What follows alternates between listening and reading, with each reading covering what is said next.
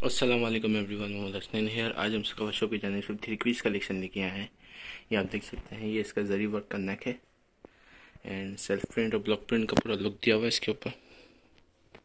ये इसका दामन। एंड ये इसकी ब्लॉक प्रिंट स्टाइल पे इसकी sleeves and chiffon block print dupatta है इसका। शेफन मटेरियल पे दुपट्टा है ब्लॉक प्रिंट लुक के ऊपर। And two side pallu lace है ये इसकी। और ये इसका प्लेन ट्राउज़र